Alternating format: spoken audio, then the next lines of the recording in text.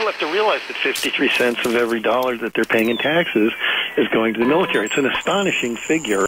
There's an enormous, enormous amount of money being blown on war and killing and destruction. But Well, well break this down. Break this down a little bit. You know, how much money? Where's it going? Well, look, there's a three trillion dollar 2011 budget proposal. It'll probably go a little higher, but they always do. But you know, so let's round it up three trillion dollars that uh, is being proposed for the next year. Um, and of that, that includes a direct Pentagon budget request of 717 billion. At this point, that'll al- also rise as it always does. There's a proposal for 158 billion. They call it, now they call it contingency fund uh, for the two wars, but that'll rise. Then you got 40 billion dollars in black box intelligence funding that doesn't get written in the budget, but really What is that? they never tell us how much they spend on the CIA and the NSA and the DIA and all these different intelligence activities, which are all war related.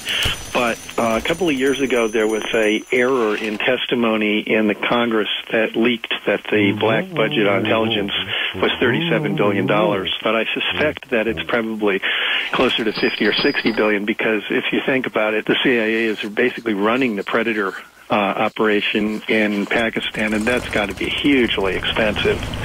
So, you know, I suspect that the intelligence budget is probably mo much more than 40 billion I gave it. Then you got another almost 100 billion in non-Department of Defense military spending. And that includes things like uh, the military portion of NASA, military spending by the State Department. Remember, they hire all those military contractors to guard their uh, embassy operation in Iraq and their embassy operation in Afghanistan and so on. It's pretty huge. Then you've got the Homeland Security budget that is largely military, and then the VA, $123 billion in veterans benefits for the uh, damaged goods from all our wars.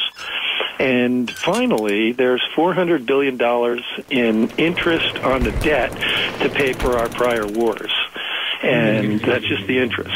So that all adds up to $1.6 trillion. One point six trillion dollars, and sort of like, how does that compare to the uh, recent health care bill? Like, where? What's the? Oh, the recent health care bill was a trillion dollars for 10 years, over 10 years. But we're talking about 1.6 trillion in one year. One point six trillion dollars. So we could have. yeah. Yeah, yeah, exactly. Next time you hear that the government needs to cut funds for providing medical care to the children of laid off workers or that supplemental unemployment funds are running out, next time you hear that federal funds that are needed to fund extra teachers at your school are being cut or that social security benefits need to be cut back or retirement age needs to be increased to 70, next time you hear your local post office has to be shut down for lack of funds, next time you hear that Medicare benefits need to be reduced, think about that 53% of your tax payment that's going to fi- finance the most enormous war machine the world has ever known. And that's the truth.